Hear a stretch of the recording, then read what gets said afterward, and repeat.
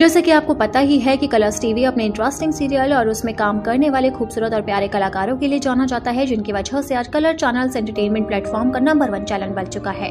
लेकिन दोस्तों, क्या आपको पता है कि कलर्स टीवी पर काम करने वाले सभी कलाकारों में से किस कलाकार ने कलर्स पर सबसे ज़्यादा लंबे समय तक काम किया और अपने सीरियल के ज़रिए कलर्स टीवी और दर्शकों के दिलों पर राज किया? तो इसलिए आज के हमारे इस वीडियो में हम आपको कलर्स चैनल के उन्हीं मशहूर कलाकारों से रूबरू कराएँगे, जिन्होंने बहुत लंबे समय तक कलर्स चैनल पर काम किया। नंबर एक, कृतिका सिंगर। अभिनेत्री कृतिका सिंगर को भला कौन भुला सकता है? जिन्होंने कलर्स टीवी के पॉपुलर सीरियल कसम तेरे प्यार की में काम किया था, इनका ये सीरियल साल 2016 में शुरू हुआ। और इसकी एंडिंग 27 जुलाई साल 2018 को हुई थी। कृतिका ने पूरे दो साल तक इस सीरियल के ज़रिए कलर्स पर राज किया। नंबर दो, अर्जुन बिचलानी।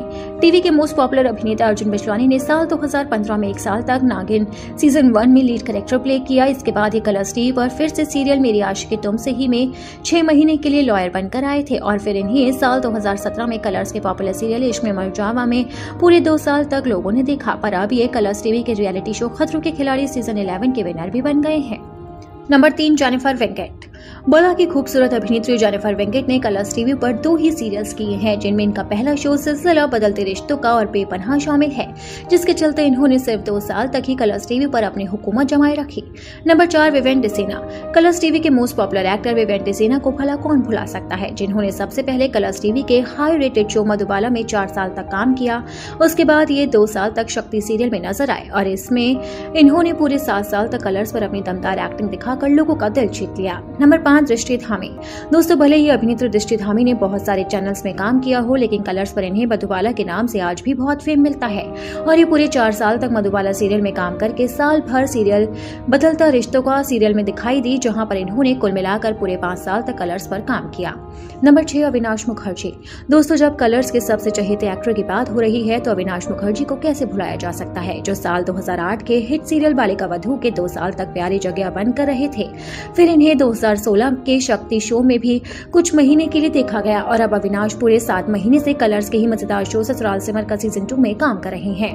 नंबर सात, हेली शाह।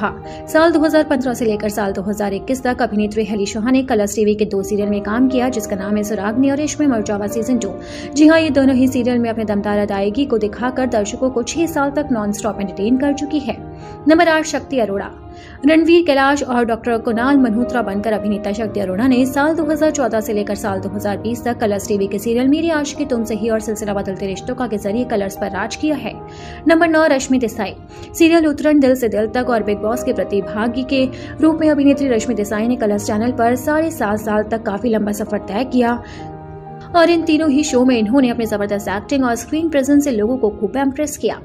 नंबर दस, शरद मल्होत्रा। कसम तेरे प्यार की और नागिन सीज़न पाँच में काम करके अभिनेता शरद मल्होत्रा ने तो कलर्स चैनल को अपना दीवाना ही बना दिया।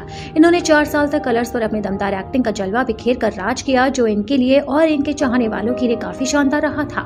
जी हाँ वो कलाकार कोई और नहीं, जिसने कलर्स पर सबसे लंबा राज किया, वो है अभिनेत्री रश्मि देसाई जिन्होंने साढ़े सात साल तक कलर्स चैनल पर राज किया। तो दोस्तों, आप इन सभी कलाकारों में से किस कलाकार के कलर्स टीवी के करेक्टर के फ़ैन हैं? आप हमें कमेंट बॉक्स में कमेंट कर ज़रूर बताएँ और साथ ही छोटे पर्दे से जुड़ी ऐसी और मज़ेदार खबरों को जानने के लिए आप हमारे चैनल को सब्सक्राइब करना ना भूलें।